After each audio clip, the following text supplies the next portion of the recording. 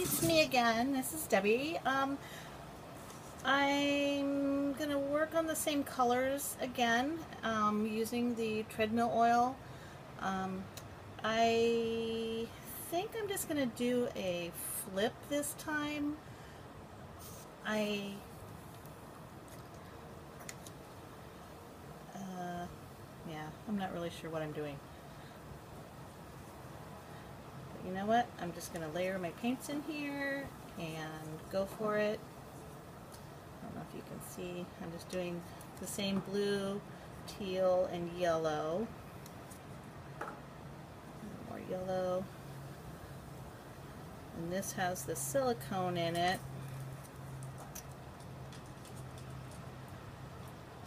I'm just using all the same and it's I just used a little tiny bit of paint and I used just like one drop of the treadmill oil.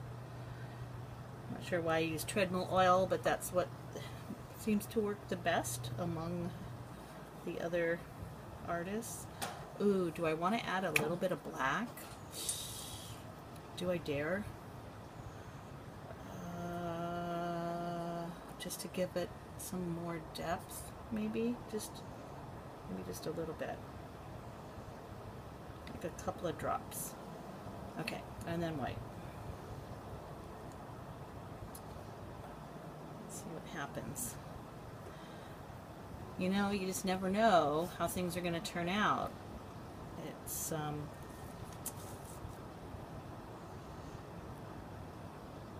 it's kind of hit and miss. I'm going to kind of poke that black around a little bit.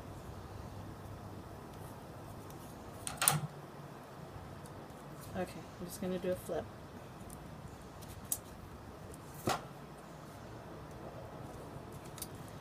Like I said, my I'm not completely all recovered yet. So, and you just never know what's going to happen with your paint. At least I don't anyway. Maybe I'll figure it out as I go. But that's kind of cool. See, flips are a lot different than a pour because the paint's kind of blend together more. I really like, can you see that? I hope you can see it. I don't have anyone filming for me today, so I'm kind of on my own. Ooh, look at that in there. Can you see that? That's cool.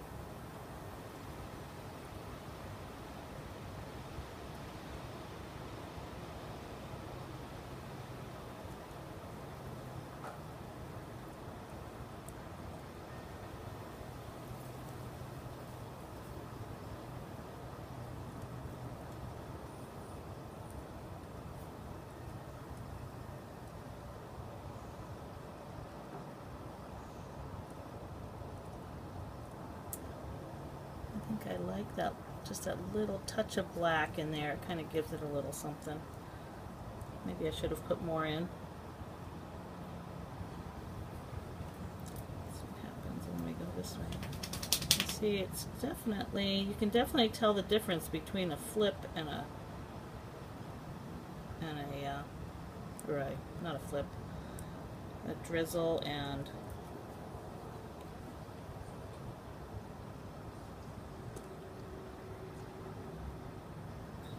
this is. I told you my brain's not working. Um,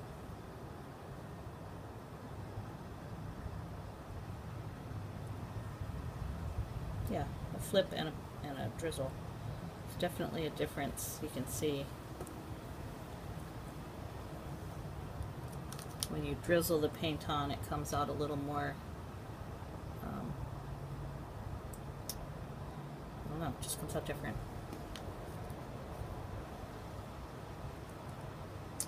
See, my hands are covered in paint.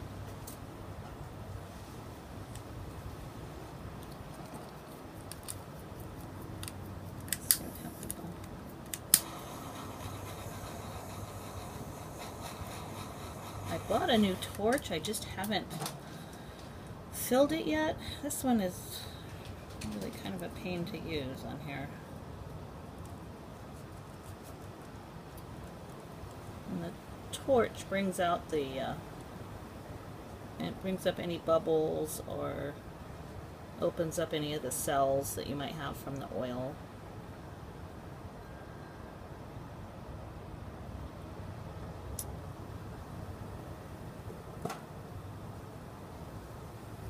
Hopefully you can see that. Can you see that okay?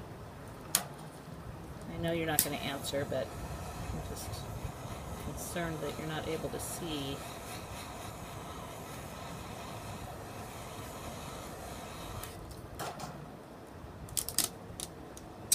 There. Hopefully you can see it. It looks kind of cool. All the cells are starting to pop up. I'm sure more will pop up as it dries, but I'm just going to leave it just like that because last time I tilted it too much and I kind of ruined it. Uh, so I'm just going to leave it just like that. And things are starting to pop up even more. Um, I'm going to take it inside to dry because it's too windy and I'm afraid it's going to get um, dust on it. So, oh yeah, that's looking pretty cool. Alright, see you next time. This was day 22. Even though I did them both in the same day, this is day 22. See you tomorrow. We'll be back on track.